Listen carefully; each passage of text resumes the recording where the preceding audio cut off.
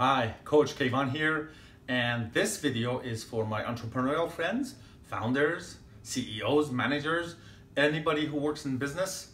Um, this also can be applied to personal life, and you'll see in a minute.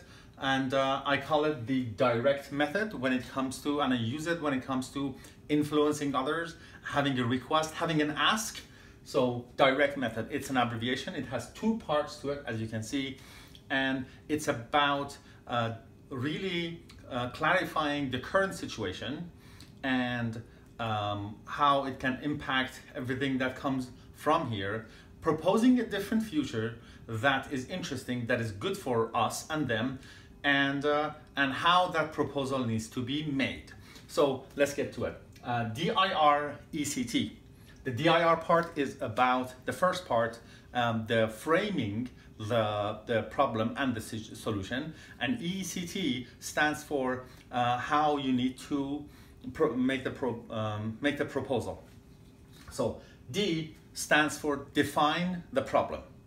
Um, what is going on, what's happening, and why is this not helping us? Clearly defining the problem will pave the way for all steps that comes after this.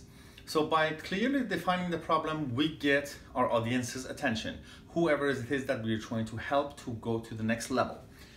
I stands for intensify the ramifications.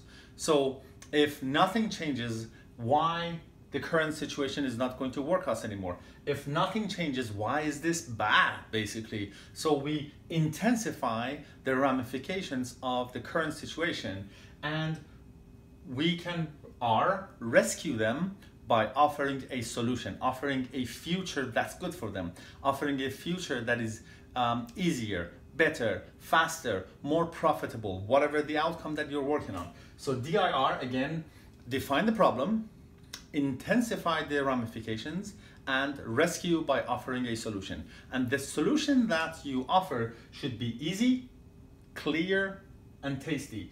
Easy as in easy to do, easy to act, easy to obtain, and that's your job, making it easy. That's, that's your job to create an offer that is easy to obtain and easy to implement. And if it's not, again, it's your job to provide a solution for that. It needs to be clear. They need to know what is it that they're getting and how is that related to the previous steps, why it takes them from this current situation to a future that's good for them. And it needs to be tasty as in it's again your job to define it in a way to express it in a way that is attractive that is desirable. Um, make sure that you are not um, that you cannot create a desire there is already a desire you can only work with it you can intensify it and that is actually a good measure that you are doing the right thing you are doing the ethical thing thing you are in um, offering them a solution that is good for them. underline good for them. Um, that's the uh, that's the ethical way of doing business and getting other people on your side and having an ask.